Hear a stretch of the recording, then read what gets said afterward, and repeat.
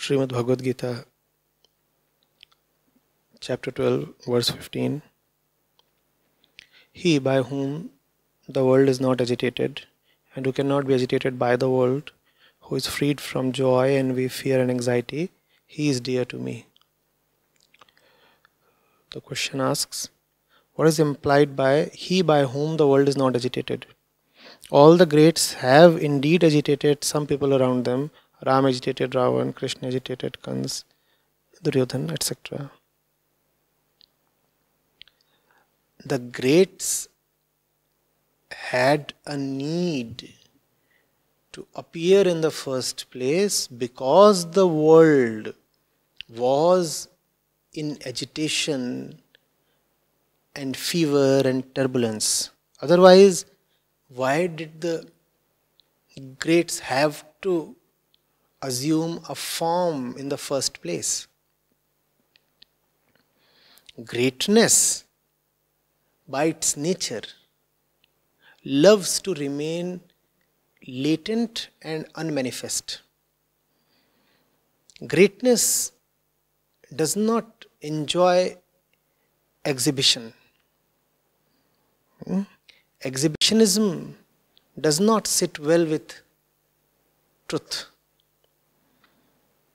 Truth is quite a sleepy thing. It does not want to display itself. Hmm? It just remains relaxed, sleeping, tucked away in some corner away from the public eye. Only when there is some great exigency that the truth wakes up and exhibits or manifests itself. Otherwise, the truth loves being a non doer. Otherwise, the truth maintains a hands off approach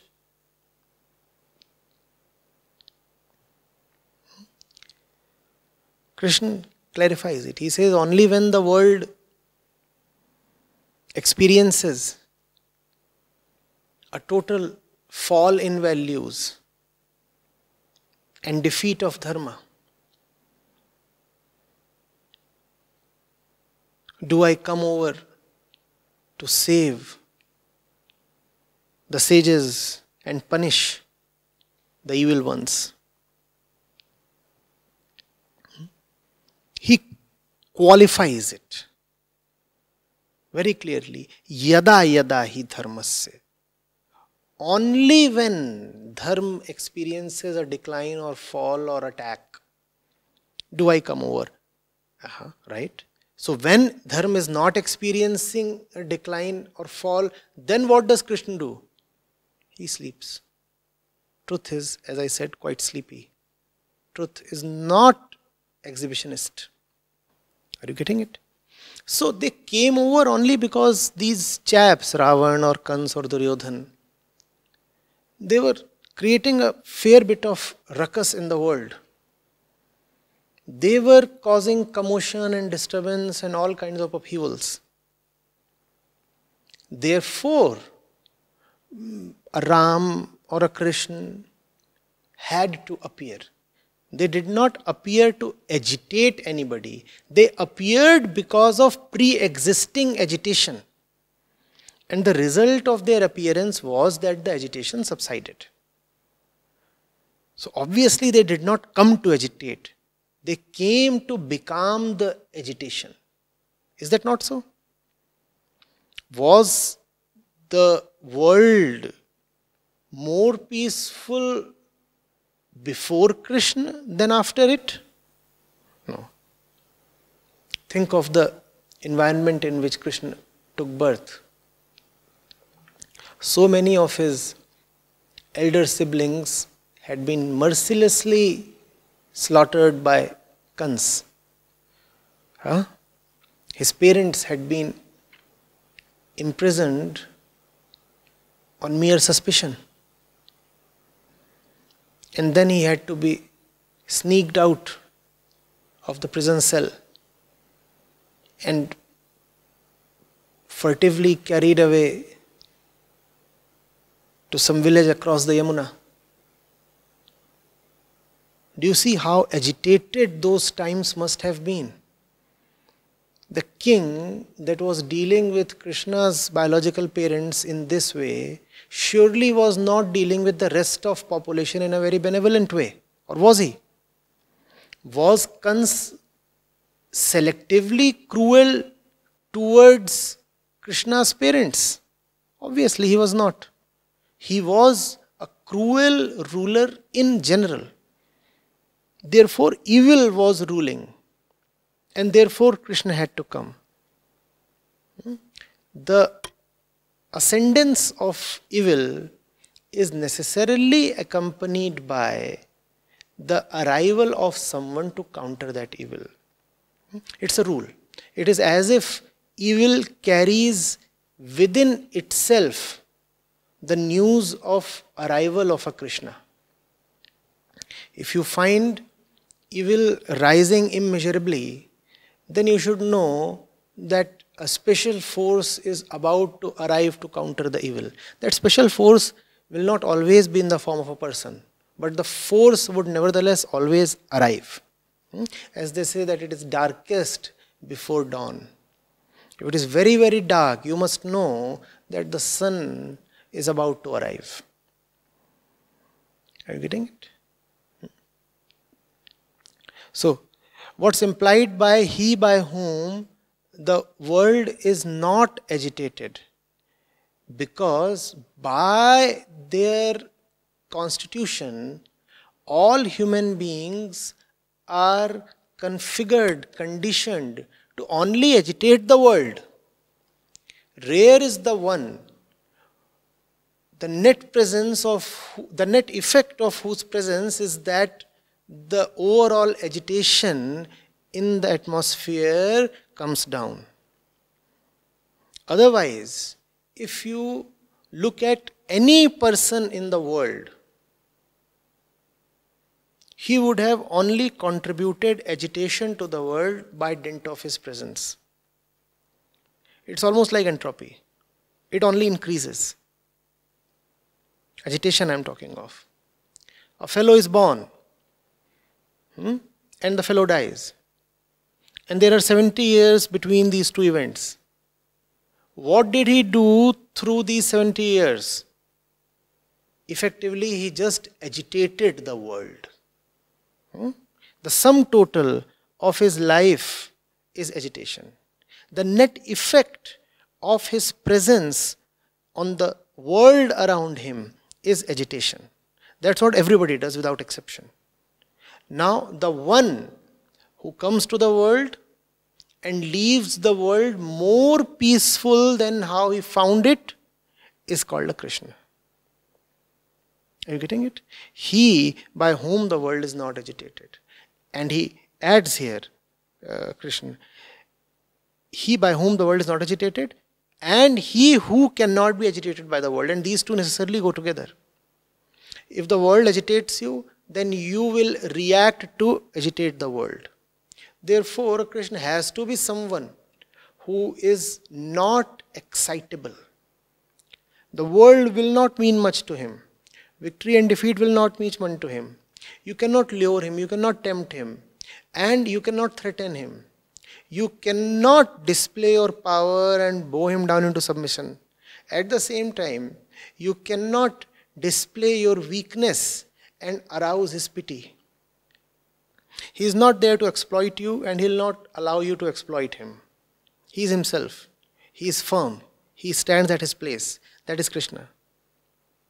Are you getting it? He neither excites someone nor is excitable. He neither threatens someone nor can be threatened. He neither exploits someone nor can be exploited. Only such a person leaves the world in a better shape than how he found it. Are you getting it? In between, obviously, you will find that Ram is, is embroiled in a fierce battle against Ravan and, and thousands are being killed, and you will say, Ah, Is this what you call as arrival of peace? Is this person, Sri Ram, the harbinger of peace? There was no battle. There was no battle at all. Lanka appeared a peaceful city and a country by all means.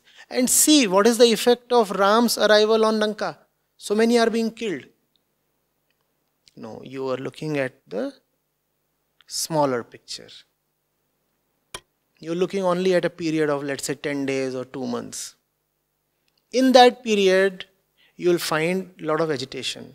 But when you will take the net result, when you look at the bigger picture, then you will find that that battle was necessary, that agitation, that excitement was necessary in order to bring down the overall agitation and tension in the air. So do not misjudge. And we have misjudged. Krishna has been, for example, accused of being very, very violent. He has been accused of instigating a war. Hmm? Arjun was trying to somehow peacefully drop his weapons. He was saying, No, no, I don't want to fight. I'm ready to run away and all that. There would have been uh, either a surrender uh, from the side of Pandavas or some kind of an armistice. Krishna didn't allow that to happen.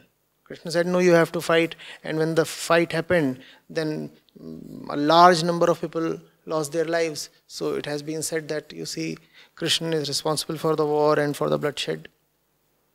That's not true. You're looking at the smaller picture. What if the war hadn't happened?